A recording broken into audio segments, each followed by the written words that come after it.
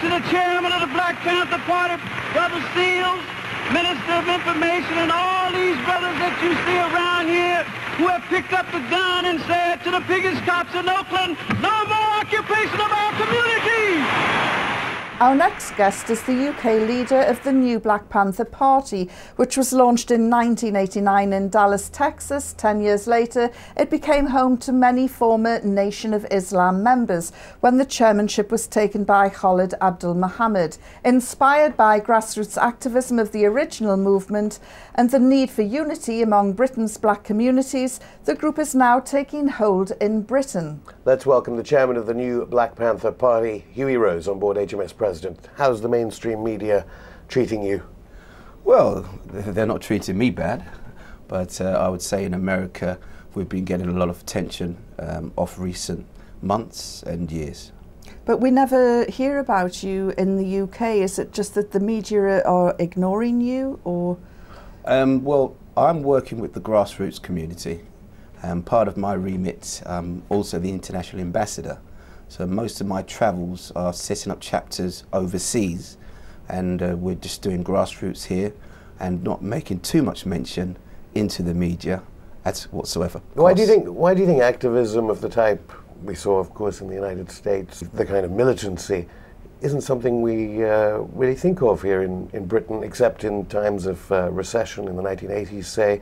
But it didn't seem to be nearly as well organized as it was in the United States. Well, uh, the reason for that is because most of the time in England things have been always suppressed. And so a lot of black organisations have suffered silently until the uprising started within the 80s, obviously starting with uh, uh, the first one in 59 in the Notting Hill uh, section where whites were attacking blacks and killed a black person. Then there was uprisings there and then again in the 80s. But since the introduction of crack cocaine and heroin into the black communities, which was funneled by the government, uh, you've seen a, a downpour of, or what you call a blank out of activism. So anybody watching this now will be looking at you saying, "Why is he wearing this paramilitary uniform? You know, should we be afraid?" Um, no, um, obviously not. Uh, when people go into the Boy Scouts, they wear a uniform. Uh, when they people go into the uh, TA, they wear a uniform. So um, we wear a uniform to distinguish ourselves from the masses of our people, and our people like to see us and see that we are the vanguards or protectors of the community. And you're combating drugs and and uh, other negative influences in the black community. Of course, we're combating drugs, we're combating uh, police brutality, domestic violence, and uh, other, other ills within our community. And how do the police react to this sort of uniform? Do they welcome it? Um, I really don't know. Uh, I would say that the the black officers I've spoken to, they they've welcomed it. Um, I'm not too sure about the Caucasian officers. Well, what I do know is there are no Boy Scouts. Thank you very much for coming on board. Thank you. Thank you.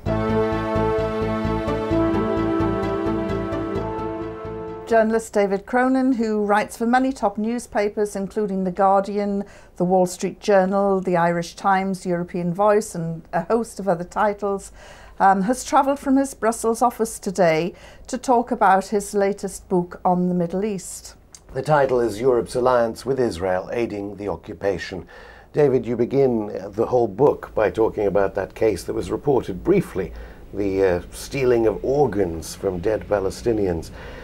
Why would you begin a book about Europe's relationship with Israel with that story? Sure. Well, the, the reason why I began with that story was because it, it appeared in a Swedish newspaper. Um, let, let me begin in saying that I, um, I didn't think that that's, that uh, article was necessarily the best uh, example of um, campaigning or investigative uh, journalism uh, ever written. The, the issue that I was using was that, that this appeared in a Swedish newspaper. The Israelis went crazy when it appeared, and they asked the Swedish government to punish, basically, or at least, at least um, condemn the author of, uh, uh, of that article. The Swedes um, refused to, to do that, saying, saying quite quite quite reasonably that they have freedom of expression in, in, in Sweden. But what, what is significant from the point of view of Europe's relations with, is, with, with Israel is that the Swedes were, held the rotating presidency of the European Union at that time. So there was all this, there was an impression given at that time that there was a major rift between the European Union and, and Israel. But if you actually look at what was happening behind the scenes, there is no rift. There was no rift whatsoever. In fact, um,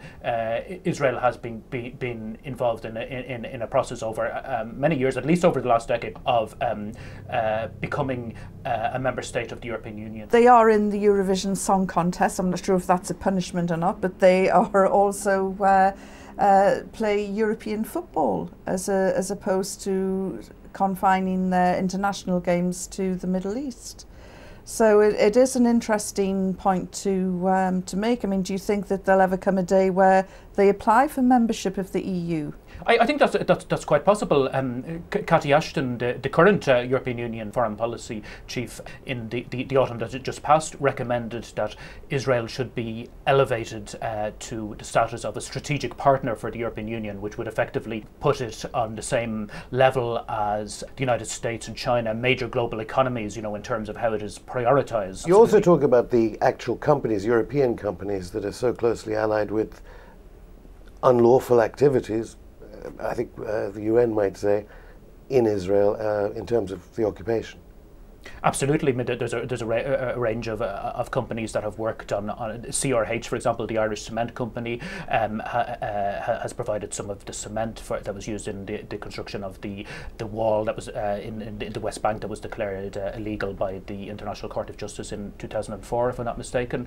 Veolia, as we know, uh, the French uh, waste disposal and um, transport company, is in, involved in building a light rail um, system in in, in, well, in East East, East Jerusalem. Westminster Absolutely, here. you know. I know know they've stepped back from that rail project. They appear to have stepped back. It's it, it, it, it uh, my the, the, latest information I have is that it's um th- they are selling off uh, their shares to Egged, the main. Um, Israeli bus comp- bus and public transport company, uh, but that, that, there's a competition issue that has to be addressed. But also, you know, um, it should be borne in mind that at an official level, the European Union has been been very keen to uh, increase trade with with, with, with Israel, and, and, and that there's, there's, actually been a process set up called the European Union Israel Business Dialogue. Many of the companies involved in in, in this um, are either arms companies or or, or have um, activities in, in illegal settlements in, in the West Bank. Well, thank you for coming in. It's a fascinating subject. Great book.